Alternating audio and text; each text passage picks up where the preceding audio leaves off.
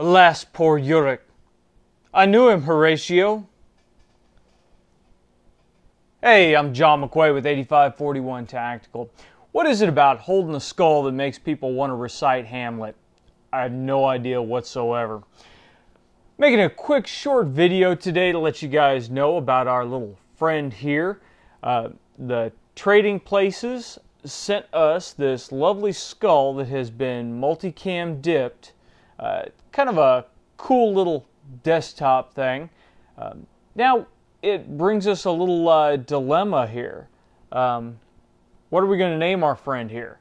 So, what I need you guys to do is go ahead and write in in the comment section below and let me know what you think we should name him.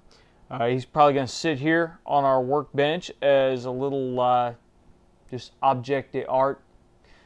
Something cool to sit here on the table in the shop. Um, I want to say something about the uh, dip job that they did on it. It is absolutely fantastic.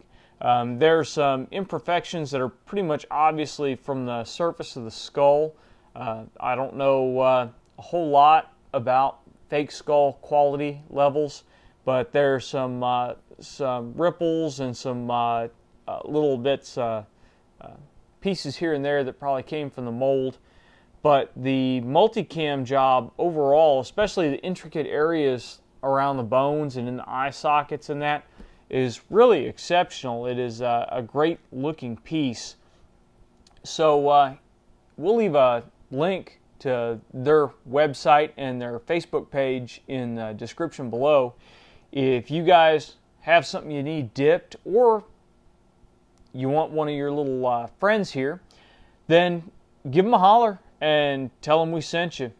Um, as for the names, post them up.